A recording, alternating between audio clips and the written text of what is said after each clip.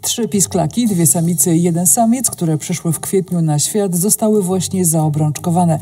Dzieci Werwy i Rafika, pary orlenowskich sokołów, to kolejne ptaki drapieżne, które po narodzinach w płockim kompleksie produkcyjnym Orlen zasilą środowisko naturalne. Wszystkie sokoły wędrowne w Polsce, także te urodzone i wychowane w Orlenie, są indywidualnie znakowane dwoma rodzajami obrączek.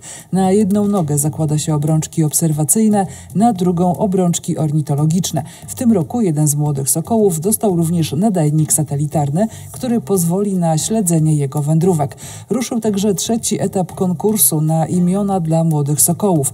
Do 15 maja można oddać głos na najciekawsze propozycje użytkowników serwisu peregrinus.pl. Dodajmy, budki lęgowe dla apteków drapieżnych w zakładzie produkcyjnym Orlen w Płocku zostały umieszczone przy współpracy ze Stowarzyszeniem na Rzecz Dzikich Zwierząt Sokół już w 1990 1999 roku. Dzięki zaangażowaniu koncernu w odbudowę populacji sokołów wędrownych w Polsce do natury trafiły już 64 pisklęta.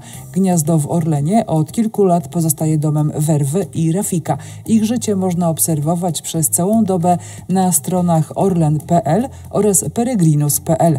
Orlen jest partnerem programu odbudowy populacji sokoła wędrownego w Polsce we współpracy ze Stowarzyszeniem na Rzecz Dzikich Zwierząt Fundacją Sokół.